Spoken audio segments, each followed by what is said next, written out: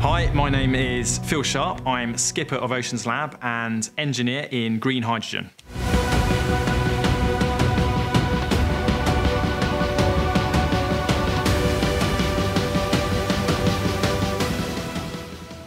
OceansLab is a high performance offshore racing project which aims to accelerate the shift to clean power on our oceans.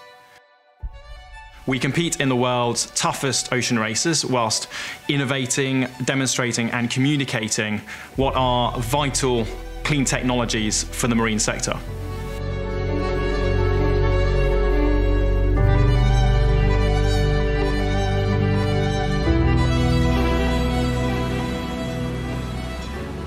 The marine industry really needs to start undergoing huge, rapid change in order to meet climate change targets.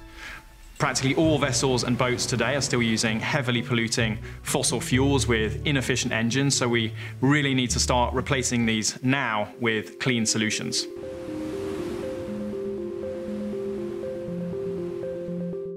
One uh, very important technology we will need for the clean vessels of tomorrow is hydrogen. Green hydrogen is an incredible zero carbon fuel as it can be produced at large scale from renewable energy.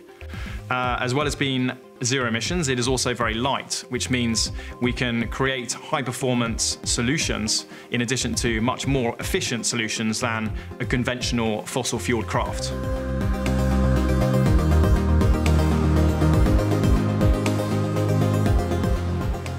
OceansLab really aims to help kickstart this green hydrogen transition in the marine sector, and for this we are developing the world's first hydrogen race boat. This will be an IMOCA 60 yacht, the Formula One boats of ocean racing. These are now equipped with cutting-edge foiling technology and are the fastest monohulls in the world today.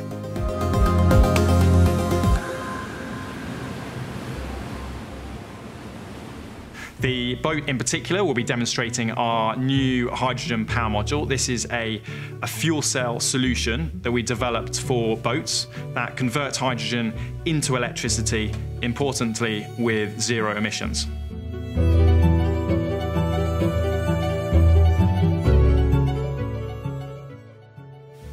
Over the next four years, we will be competing in two of the greatest events in sailing. We will be entering the Ocean Race, this is a 45,000 mile fully crewed race around the world and provides some of the closest, most exciting racing imaginable.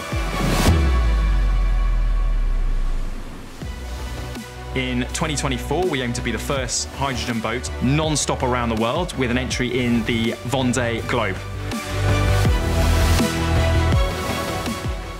This is the Everest of sailing today, the ultimate human challenge, and without a doubt the toughest sporting event on the planet.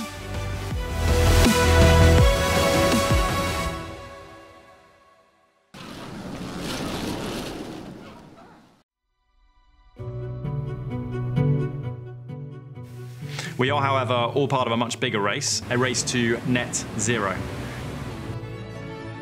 We all need to fully commit to clean technologies, as this is a race we really must win.